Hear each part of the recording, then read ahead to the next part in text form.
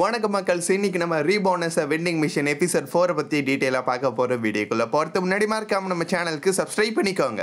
எபிசோடோட ஸ்டார்டிங்கில் நம்ம ஹீரோ கிட்ட நாலு பேர் வந்து இந்த கிராமத்தோட செவுரு எல்லாத்தையுமே நாங்கள் ஸ்ட்ராங்காக கட்ட போகிறோம்னு சொல்கிறாங்க கில்டோட லீடர் தான் இந்த ஆர்டரை எங்களுக்கு கொடுத்துருக்காரு. சாப்பாடுக்காக உன்னையும் கூட கூட்டிகிட்டு போக சொல்கிறாரு ஸோ நீ வரியான்னு கேட்க நம்ம ஹீரோவும் ஓகேன்னு ஒத்துக்கிட்டு அவங்க கூட போகிறான் இதுக்கு முன்னாடி பாக்ஸ் கிட்ட காசு ஆட்டையை போட ட்ரை பண்ண பயபோல கூட அந்த இடத்துல தான் இருக்கிறான். ஒரு வேலை இப்போ அவன் திருந்திட்டான் போலன்னு இவன் டிராவல் பண்ணி போய்கிட்டு இருக்கான். எட்டு மணி நேரமாக தொடர்ந்து டிராவல் பண்ணி போய்கிட்டே இருக்காங்க. நம்ம ஹீரோக்கு லைட்டாக சந்தேகம் வருது. ஸோ அவங்ககிட்ட இருக்க செக்யூரிட்டி கேமரா மூலியமாக இவங்க எல்லாரோட ஃபேஸ் ஃபேஸையும் ஃபோட்டோ எடுத்துக்கிறான். இப்போ நடுக்காட்டில் வண்டியை நிறுத்தினதும் நம்ம பாக்ஸை மிரட்டி எங்கள் எல்லாருக்குமே பசிக்குது. சாப்பாடு கூடன்னு ஒரு பயபுல கேட்டுட்டு இருக்கா. உடனே அவங்களோட லீடர் வந்து தடுக்கிறான். இவனை நம்ம டேமேஜ் பண்ண அதிகமான காசுக்கு விற்க முடியாதுன்னு. ஆனால் அதை பற்றினா நீங்கள் ஒன்றும் கவலைப்பட வேணாம். லீடர் இவனை எவ்வளோ அடித்தாலும் அந்த காய் எல்லாத்தையுமே குணப்படுத்திக்கிற சக்தி இவங்கிட்ட இருக்குது போன தடவை அடி வாங்கின காய் எல்லாமே இப்போ காணாமல் போயிடுச்சுன்னு சொல்ல. அப்படின்னா ஓகே கொஞ்சம் அடித்து அவனை பயன்படுத்துங்கன்னு இப்போ எல்லாருமே ஒன்றா சேர்ந்து நம்ம பாக்ஸை போட்டு உடைக்க ஆரம்பிக்கிறாங்க. எக்கச்சக்கமான டென்ட் டேமேஜ் ஏற்படுது. இப்போ அவன்கிட்ட இருக்கிற ஒரு ஸ்பெஷல் பவர் யூஸ் பண்ணுறான் இது ஆக்டிவாக இருக்கிற வரைக்கும் எந்த ஒரு காயமும் அவனுக்கு ஏற்படாது. அடுத்த அரை மணி நேரத்துக்கு இவங்க நாலு பேரை ஒன்றா சேர்ந்து அட்டாக் பண்ணிட்டு இருக்காங்க. பட் எந்த விதமான டேமேஜும் ஏற்படலை. நெக்ஸ்ட்டு இதுக்கு முன்னாடி ஏற்பட்ட டேமேஜ் கூட சரியாகல. உடனே லீடர் டென்ஷன் ஆகிட்டான் வேணுமேனு இவங்களை வெறுப்பேற்றுறதுக்காக தான் பாக்ஸ் இப்படி எல்லாமே பண்ணிட்டு இருக்கான். இப்போ அவங்ககிட்ட இருக்கிற ஒரு ஜூஸை குடிக்கிறான். இந்த அஞ்சு பைபிளைங்களும் நம்பி குடிக்கிறாங்க. ஆனால் ஒரே கசப்பாக இருக்குது வேணுமேனு தான் இப்படி பண்ணியிருக்கான். நெக்ஸ்ட்டு காட்டுக்குள்ளே இருக்கிற ஒரு சின்ன வீட்டுக்கு நம்ம பாக்ஸை கொண்டு வந்துட்டாங்க. அந்த வீட்டில் ஆல்ரெடி ஒரு பொண்ணு இருக்கிறா. இந்த பொண்ணையும் இந்த பைபிளைங்க தான் அடைச்சி வச்சிருக்காங்க. இந்த பொண்ணு பேர் அம்லி. இவ ஒரு இன்ஜினியர் ஸோ பாக்ஸை பற்றி எல்லா விஷயங்களையும் டீட்டெயிலாக ரிசர்ச் பண்ணி வைக்க சொல்கிறாங்க உனக்கு ஒரு வாரம் டைம் இருக்குது அதுக்கப்புறம் பாக்ஸை நாங்கள் கொண்டு போய் வித்துருவோன்னு. இந்த பேர் ஆல்ரெடி பாக்ஸுக்கு எங்கேயோ கேட்ட மாதிரி ஒரு ஃபீலிங் நம்ம பாக்ஸ் ஆலோசனை அதுக்கான அர்த்தம் எஸ்ன்னு இவளுக்கு தெரியுது. அந்த விஷயத்த நம்ம பாக்ஸ் கிட்ட கேட்க அவனும் ஆமான்னு சொல்கிறான் நான் ஒரு மேஜிக்கல் இன்ஜினியராக இருக்கனால இந்த உலகத்தில் இருக்க நிறைய டெக்னாலஜியை பற்றி எனக்கு தெரியும். ஆனால் எந்த விதமான டெக்னாலஜியாலையும் பேச முடியாது. ஆல்சோ உன்னோட நடவடிக்கைலாம் ரொம்பவே வித்தியாசமாக இருக்குது உனக்குள்ள ஒரு மனுஷனோட ஆத்மா இருக்கான்னு கேட்க நம்ம பாக்ஸ் ஆமான்னு சொல்கிறான் இப்போ அம்லி குடிக்கிறதுக்காக கொஞ்சம் தண்ணியை நம்ம பாக்ஸ் கொடுக்குறான். நெக்ஸ்ட் அம்லி தொடர்ந்து அவகிட்ட இருக்கிற டவுட் எல்லாத்தையுமே ஒன் பை ஒன்னாக கேள்வியாக கேட்க ஆரம்பிக்கிறா. அதுக்கு பாக்ஸும் ஆன்சர் பண்ணிக்கிட்டு இருக்கா. அம்லி நிறைய விஷயங்களை ரிசர்ச் பண்ணி இப்போ புதுசு புதுசாக நம்ம பாக்ஸை பற்றி கண்டுபிடிக்கிறா.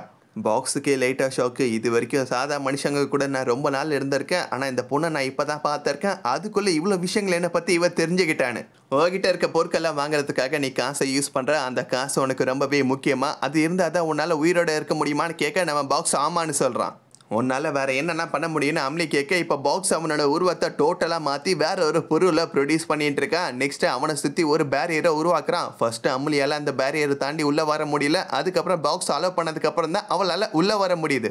பாயபுலைகிட்ட ஏகபோகமான சக்தி எல்லாம் இருக்குன்னு அம்லிக்கு ரொம்பவே சந்தோஷம். இப்போ நைட் ஆனதும் டயர்டில் தூங்கிட்டு இருக்கு அந்த நேரமாக பார்த்து திருட்டு பசங்க வேணுமேனு அவகிட்ட பிரச்சனை பண்ணுறதுக்காக வராங்க.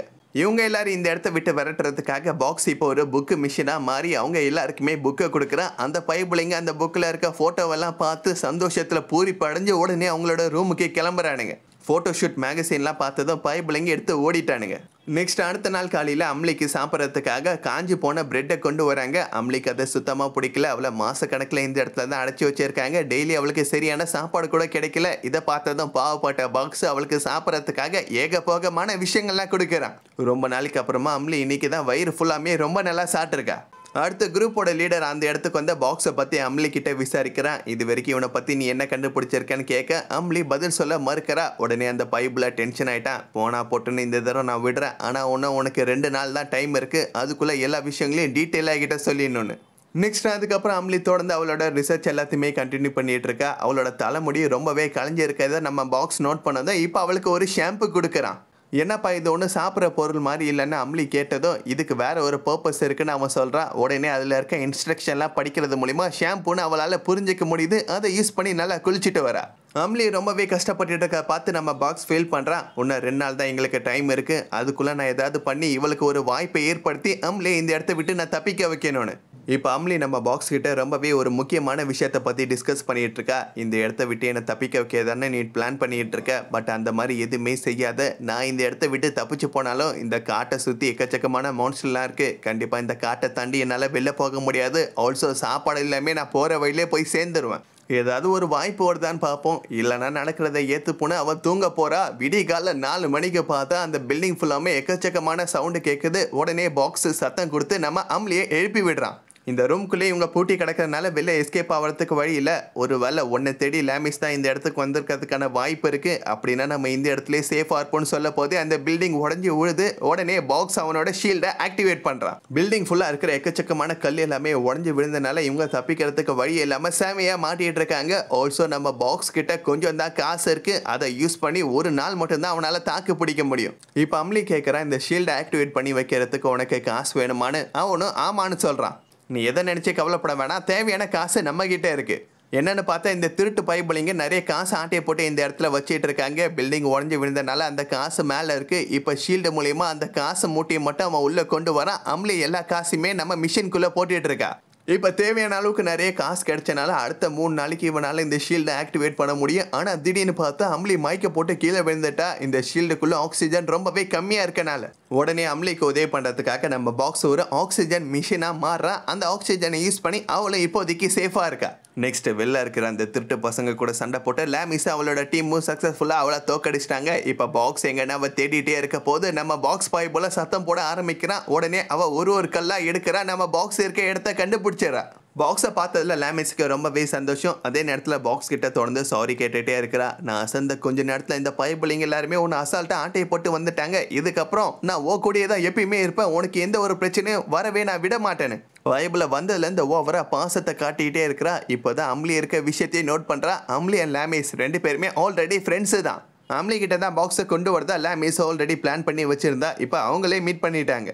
ஆல்சோ கெரியோலும் அவரோட டீமும் இந்த இடத்துல தான் இருக்கிறாங்க. எந்த விதமான காசும் வாங்காமல் நம்ம பாக்ஸுக்கு உதவி பண்ணுறதுக்காக வந்திருக்காங்க. ஃபிலிமியாக்கு ஒரு டவுட்டு பொதுவாகவே காசு கொடுக்காம எந்த விதமான வேலையுமே நீங்கள் செய்ய மாட்டீங்க. ஆனால் இப்போ நீங்கள் பாக்ஸை காப்பாற்ற வந்திருக்கீங்கன்னா கண்டிப்பாக இதுக்கு பின்னாடி ஒரு பெரிய காரணம் இருக்குது உங்களுக்கு தேவையான ஒரு விஷயத்துக்காக பாக்ஸை யூஸ் பண்ணிக்கலாம் தானே? கரெக்டாக கண்டுபிடிச்சிட்ட ஃபிலிமியா. இப்போ நான் பாக்ஸுக்கு உதவி பண்ணியிருக்கேன். ஸோ பதிலுக்கு அவனும் எனக்கு உதவி பண்ணணும்னு நினைப்பான். நான் ஒன்று அவனை சும்மாலாம் வேலை வாங்க மாட்டேன். நம்மளுக்கு தேவையான விஷயத்துக்கு அவனை யூஸ் பண்ணிக்கிறேன். ஆல்சோ நம்ம பண்ண போகிறது ரொம்பவே இம்பார்ட்டண்ட்டான மிஷின்னு சொல்ல.